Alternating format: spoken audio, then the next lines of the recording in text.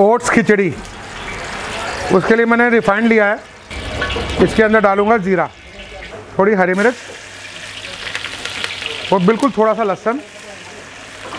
और थोड़ा सा अदरक का लच्छा।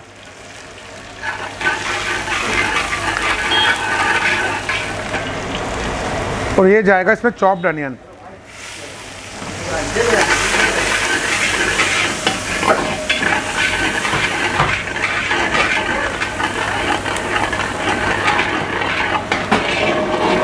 उस टाइम पे मैं इसमें डालूँगा थोड़ा सा चॉप टमाटर।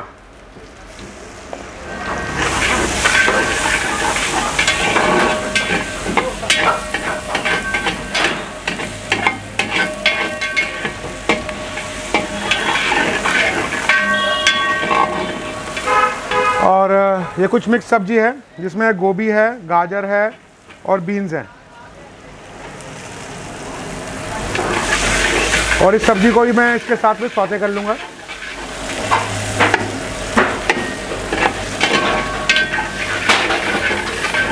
नमक अकॉर्डिंग टू योर टेस्ट थोड़ी सी लाल मिर्च, हरा धनिया थोड़ा सा ज़ीरा पाउडर। साथ ही में मैं इसमें थोड़ा सा पानी डालूँगा, ताकि जो मसाले हैं हमारे वो हो जाए, मैच्योर हो जाए।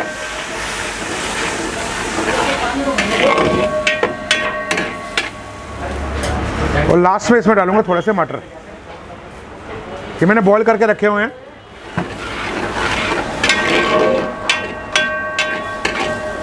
इसे तीन से चार मिनट के लिए ढक के रख दूँगा मैं इसको।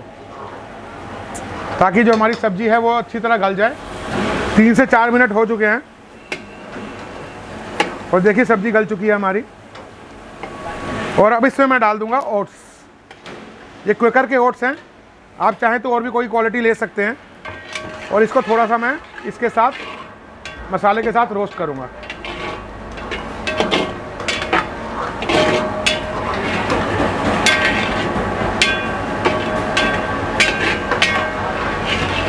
अब मैं इसमें डालूँगा पानी।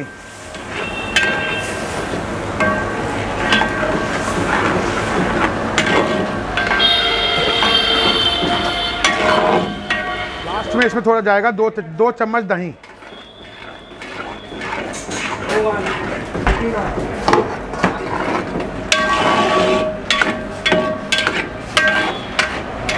हमारी ओट्स की खिचड़ी तैयार है।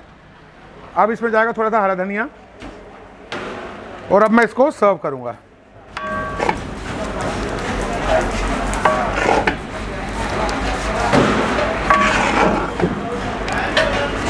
गार्निश में थोड़ा सा हरा धनिया। थोड़ा सा नींबू।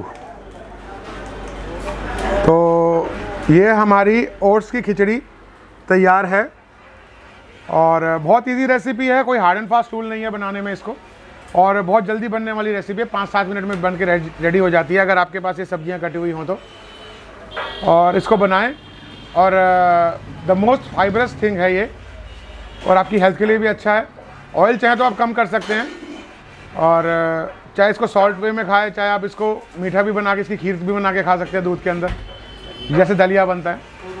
तो they are lot of variations तो अगर आपको ये रेसिपी मेरी पसंद आई हो तो इसको लाइक कीजिए सब्सक्राइब कीजिए और शेयर कीजिए। और आपकी कोई भी क्वेरी हो तो आप मुझे डायरेक्ट डीएम कर सकते हैं। मेरी आईडी है chef dot Anirudh at zero so chef Anirudh से डी साइनिंग ऑफ़ थैंक यू